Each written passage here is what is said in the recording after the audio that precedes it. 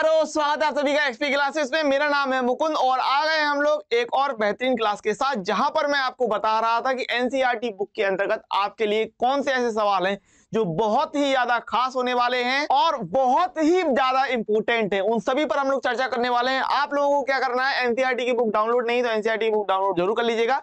मुझे पूरी उम्मीद है कि आप सभी ने एनसीईआरटी की बुक डाउनलोड कर रखी होगी, या फिर अगर आपने हार्ड कॉपी भी खरीद रखी है तो भी इसमें कोई भी समस्या नहीं है ठीक है ना? चलिए तो हम लोग बात कर लेते हैं कि चैप्टर नंबर दो के लिए आपके पास क्या क्या इंपॉर्टेंट सवाल है। पहली बात एक बात समझ लो। अगर कोई भी व्यक्ति चैप्टर नंबर दो लगाना चाहता है ना, बहुत छोटा चैप्टर है, बहुत जल्दी लग जाएगा और बहुत ही सिंपल चैप्टर है तो इसमें घबराने की तो किसी भी प्रकार की कोई प्रॉब्लम नहीं होनी चाहिए आपको, है ना? तो अगर हम लोग बात कर रहे हैं, देखिए, पूरे साल मैंने आपके लिए मेहनत की है, पूरे साल आप लोगों ने अपने लिए मेहनत की है और हम लोगों ने लक्ष्य रखा है कि इस बार फोड़ना है हमको hundred out of hundred hundred out of hundred फोड़ने के लिए मैंने आपको एक तरकीब दी है, एक आइडिया दिया है और एक प्लान के साथ हम लोग चले हैं पूरे साल और वो प्लान ये है हमारा कि हमको एनसीईआरटी कंप्लीट करना है, बढ़िया तरीके से देखना है। इसके अलावा हमको पीवाईक्यू लगाने हर हाल में। बढ़िया तरीके से। और इन सब का एनसीईआरटी एंड पीवाईक्यू हमको 200 परसेंट रिविजन करना। यदि इसका भी सपना 100 आउट ऑफ़ 100 का है, वो इस प्लान के हिसाब से चलेगा। और इस प्लान के हिसाब से अगर आप जाए पूरे साल तैयारी की तो आप अपने अंदर कॉन्फिडेंस ज़रूर से ज़रूर महसूस कीजिएगा। और अपने अंदर ये कॉन्फिडेंस आपको बनाए रखना है। इसके अलावा मैं आपसे हर बार यही चीज़ बोलते आया हूँ कि आपको एनसीईआरटी में एक काम ज़रूर से ज़रूर कर लेना है, और वो है एनसीईआरटी के एग्ज़ाम्पल एंड एमसीक्यू ये किसी भी कीमत पे आपको छोड़ने नहीं है। इन चीज़ों को आपको हर हाल में करना है एनसीईआरटी के एग्ज़ाम्पल और एंड वो एमसीक्यू इनको तो आप किसी भी कीमत पे छोड़ भी नहीं सकते हैं, ठीक है ना? तो ज़्यादा देर नहीं लगाएँगे, हम लोग बात करने वाले हैं प्रतिलोम त्रिकोणमिति फलन, जो कि आपका चैप्टर नंबर दो है, इनवर्स टिग्नोमेट्रिक फ़ंक्शन, इसके एनसीईआरटी बुक के जो मोस्ट मोस्ट इंपोर्टेंट क्वेश्चन है, उस पर बढ़िया तरीके से लगाने वाले हैं, ठीक? और अब हम लोग चलते हैं सीधे सीधे किताब पर। किताब में अगर मैं बात कर रहा हूँ तो ये हमारे पास आ गया भैया, बहुत बढ़िया तरीके से चैप्टर नंबर टू, ठीक है ना? तो यहाँ पर अगर मैं बात करता हूँ तो ये आ गया मेरे पास chapter number two. Chapter number two के अंतर्गत हम लोग लगाने वाले हैं टिक कि कौन कौन से सवाल आपके लिए बहुत ही ज़्यादा इंपॉर्टेंट है, ठीक है? तो चलिए, ज़्यादा देर नहीं लगाएँगे, फटाफट आ जाएँगे और यहाँ पर आपको बहुत कुछ चीज़ें देखने के लिए मिल जाती है, बहुत कुछ जानने के लिए, समझने के लिए मिल जाता है, ठीक है ना? यहाँ पर हमको कुछ नहीं देखना है, कुछ भी नहीं। अच्छा यहाँ पर आप लोग एक काम ज़रूर कर लीजिएगा, ये जो ग्राफ देख रहे हो ना, कि भैया साइन के लिए, ठीक है? ये साइन के लिए ग्राफ देख रहे हो। एक बार इन पर नज़र दौड़ा रहना, ठीक है ना? साइन के लिए ग्राफ है है ना?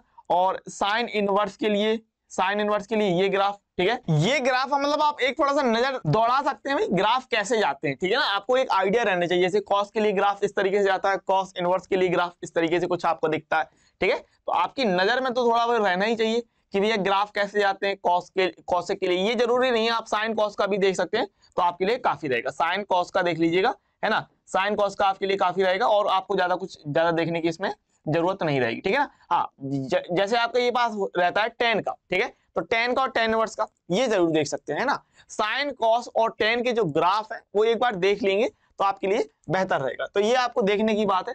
मैं यहाँ पर टिक वगैरह नहीं लगवा रहा हूँ, सिर्फ़ आपसे कह रहा हूँ, एक बार आप देख लेंगे, ठीक है ना? और ये भाई आपके लिए बहुत इंपॉर्टेंट है। ये आपके लिए बहुत ही ज़्यादा इंपॉर्टेंट है कि प्रत्येक के लिए जो रेंज होती है, ठीक है ना? Sine inverse cos cosec sec tan और कॉट, ये जो रेंज होती है, ये आपको याद रखना है, ठीक है ना?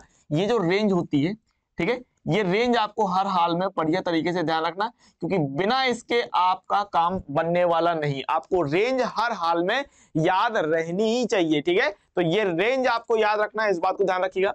आगे बढ़ेंगे हम लोग, और अब आ जाते हैं हम लोग सवालों पे। तो कौन कौन से ऐसे सवाल हैं जो आपको टिक लगाने हैं? तो उदाहरण नंबर एक आप लोग देख के जाएँगे बढ़िया तरीके से, ठीक है ना? उदाहरण नंबर एक में टिक लगाएँगे फटाफट से। उदाहरण नंबर एक में टिक लगाएँगे और आप लोग टिक लगाएँगे उदाहरण नंबर दो में, ठीक है ना?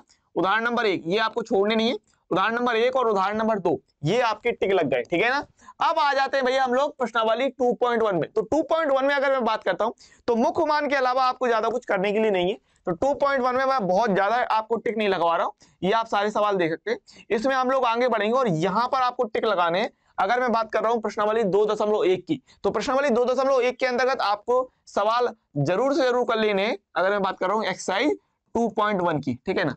एक्सरसाइज 2.1 में आपको हर हाल में ये सवाल लगा लेने कौन कौन से? Question number 11 question number 12 question number 11 question number बारह, और ये तेरह और चौदह, जो कि मैंने आपसे कह रखा है कि आपको एमसीक्यू एनसीईआरटी के एमसीक्यू मल्टीपल चॉइस क्वेश्चन यानी कि बहुविकल्पीय सवाल एमसीक्यू सवाल आपको किसी भी कीमत पे नहीं छोड़ने ठीक है ना? बहुविकल्पी सवाल आपको नहीं छोड़ने तो 2.1 के अंतर्गत मैं आपको टिक लगवा रहा हूँ क्वेश्चन नंबर 11 में 12 में 13 में और 14 में ठीक है ना? क्वेश्चन 11 12 13 14 ये आपको 2.1 के अंदर कर, करने हैं। इसके बाद आगे बात करें तो उदाहरण नंबर 13 आपको देखना है देख लीजिएगा। उदाहरण नंबर चार आप देख लीजिएगा। ये आपका उदाहरण नंबर तीन है। तेरह मैंने बोल दिया उदाहरण नंबर तीन ठीक है? उदाहरण नंबर तीन उदाहरण नंबर चार ये। अच्छा इसमें उदाहरण नंबर पाँच में आप टिक लगाएँगे। भैया, ये इंपोर्टेंट लगाएँगे आप टिक, ठीक है ना? उदाहरण नंबर पाँच के लिए आप बढ़िया वाला टिक लगा लीजिए। ये आपको मैं टिक लगवा रहा हूँ, ठीक है ना?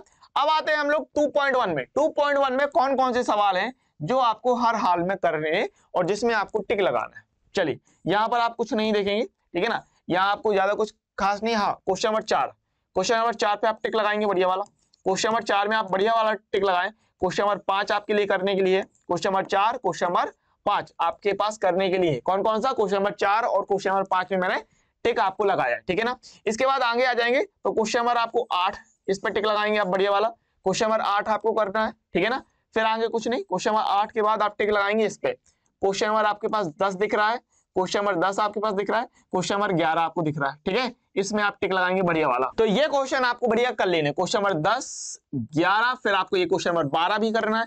फिर इसके बाद ये सारे क्वेश्चन आपके पास तेरह, चौदह और आप देख रहे हैं क्वेश्चन नंबर पंद्रह, ठीक है ना?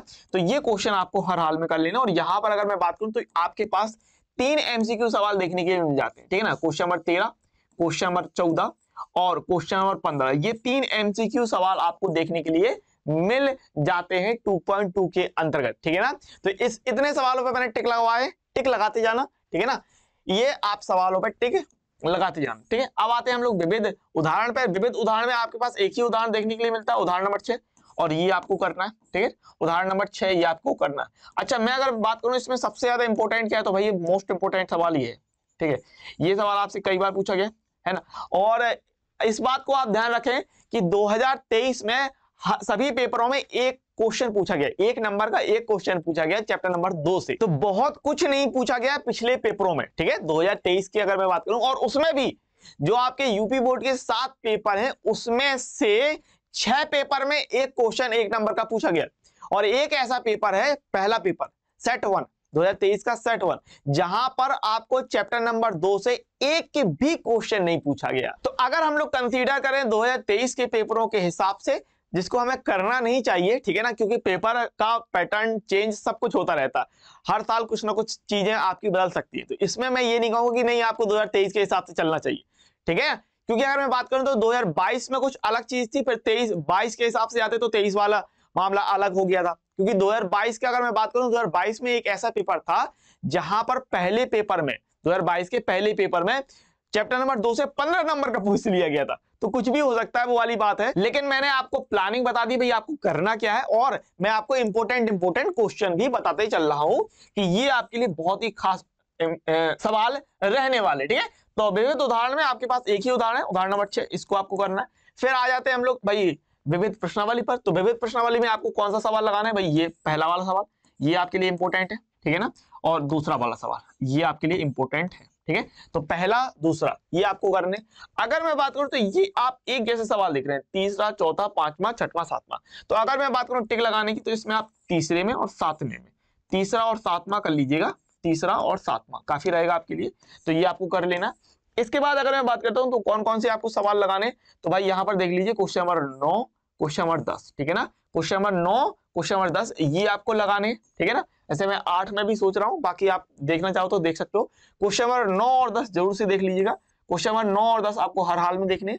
इसके बाद अगर हम बात करें तो यहाँ पर आपको लगाना है, भाई ये एमसीक्यू सवाल तो आपको करने ही करने क्वेश्चन नंबर तेरह, चौदह। ये एमसीक्यू सवाल आपको करने ही करने हैं और इस प्रकार से ये आपका पूरा मामला चैप्टर नंबर दो के लिए।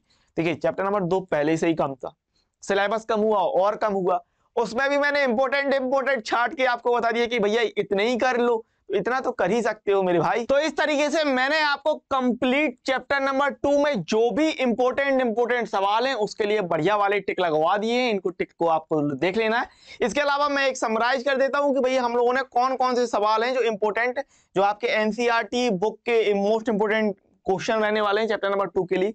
कौन कौन से हम लोगों ने टिक लगवाए? इसके अलावा इसमें भी मैं आपको नेट पिकिंग करके देना चाहूँगा कि भाई ये सवाल तो लगा ही लेना। मतलब ऐसे भाई लोग हैं, जिनको नहीं कुछ करना है, बिल्कुल आलसी है, उनके लिए भी मैंने आपको इंतज़ाम कर दिया कि भाई वो क्वेश्चन तो आपको कर ही लेने ठीक है ना? तो इंपॉर्टेंट क्वेश्चन इसके अलावा इंपोर्टेंट के भी इंपोर्टेंट क्वेश्चन उनको भी हम लोग देखने वाले हैं। तो ये मैंने आपको करवा दी। इनका आप स्क्रीनशॉट ले लीजिए, बढ़िया वाला। एनसीईआरटी बुक के अंतर्गत ये सवाल आपको हर हाल में देख लेने हैं, ठीक है ना? तो अगर मैं बात करता हूँ उदाहरण में तो उदाहरण तो भाई हमारे पास छह ही उदाहरण है। छह उदाहरण में से आपको ये आपको लगा लेने पहला, दूसरा, पांचवा, छठवा, ठीक है ना? इसके अलावा मैं बात करूँ एक्सरसाइज 2.1 में तो 2.1 में आपके पास देखिए मुख्य मान के सवाल है। तो 2.1 बहुत ही आसान है। मैं आपसे ये कहूँगा कि 2.1 हर हाल में बढ़िया तरीके से तैयार करके जाइएगा, ठीक है ना? रट के जाइए, चाहे जैसे कीजिए, लेकिन उसको अच्छी तरीके से तैयार करके ज़रूर ज़रूर जाइएगा।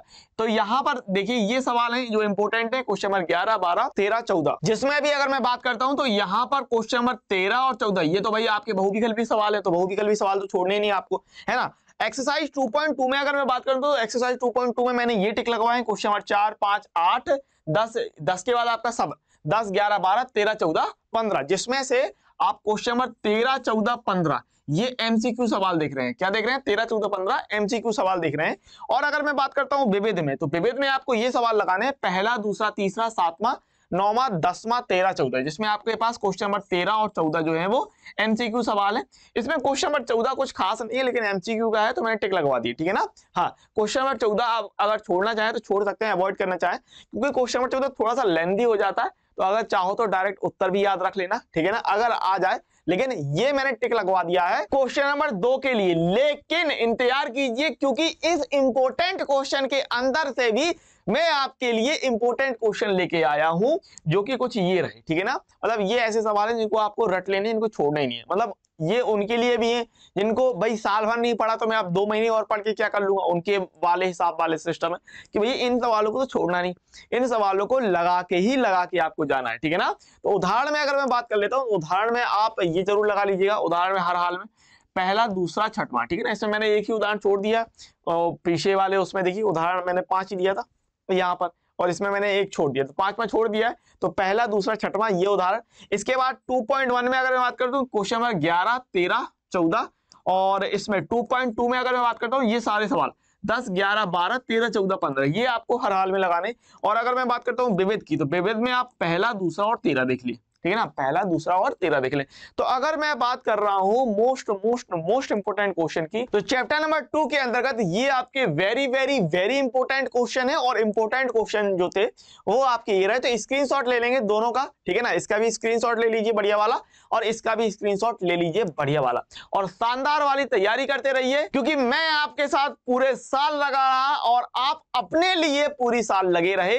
पढ़ाई करने के लिए, फोड़ने के लिए पेपर एकदम जुटे रहे। तो हम लोग इसी प्रकार से मोस्ट इंपोर्टेंट क्वेश्चन के साथ मिलेंगे अगले चैप्टर के साथ। तब तक के लिए याद रखिएगा, पढ़ते रहिए, खुश रहिए, आगे बढ़ते रहिए। मेरा ये चैनल सब्सक्राइब करें और मेरे हर अपडेट आपको मिले, इसके लिए बेल आइकन ज़रूर दबाइएगा।